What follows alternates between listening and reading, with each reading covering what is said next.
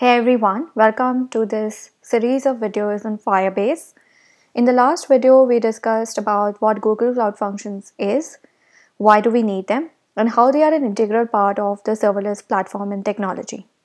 In this video, I'm going to teach you how to create your first Google Cloud Function on the Firebase platform.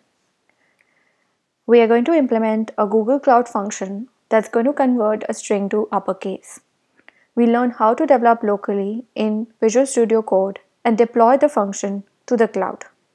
One thing to note is to enable billing on Google Cloud Platform for Cloud Functions to work. So let's quickly move to Visual Studio Code. I have created a folder first cloud function and we're going to run the first command that is firebase init functions.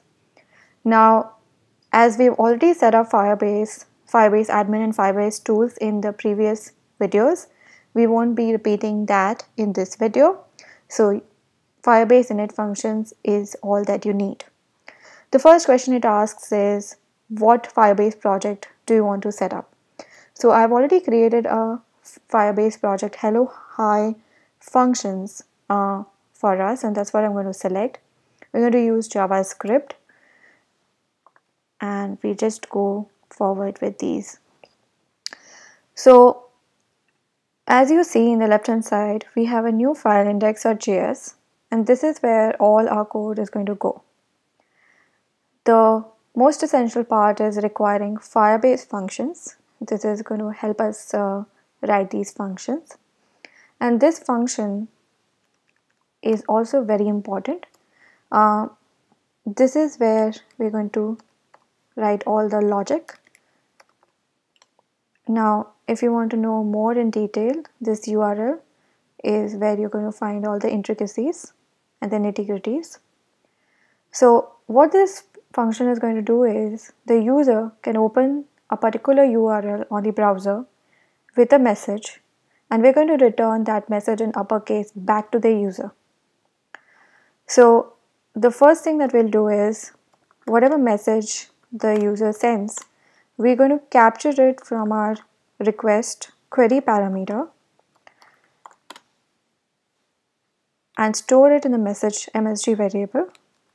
Also if the user doesn't share any uh, message with us we're going to just have a default message. So hello fabulous. You fabulous.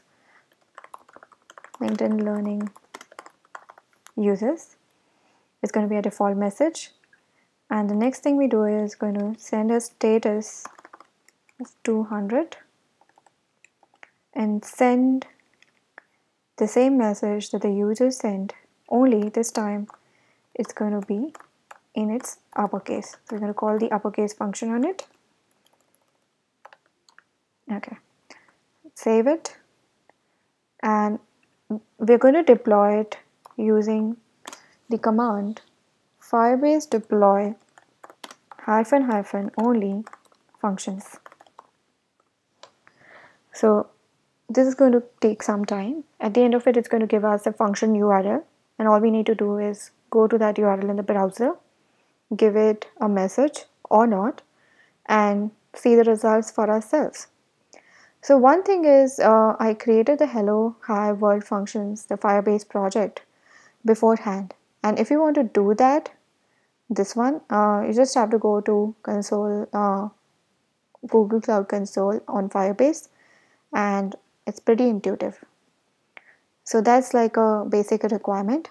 So as i said we have a function url ready now. Uh, so i'm going to copy this and move to a browser. And i'm going to pass a message of so hi you all. Keep learning. Okay let's see. So here here we go. We have it. And in case we don't pass any message at all let's see what happens. So this is the same message. Hello you fabulous linkedin learning users. Only this is in uppercase. So uh, that's it guys. Uh, this is your first google cloud function deployed to the cloud um, and uh, hope you like this video Thank you so much. In the next video, we're going to discuss uh, a more complex uh, application using Google Cloud Functions on Firebase platform. Thank you so much. See you in the next video. Bye-bye.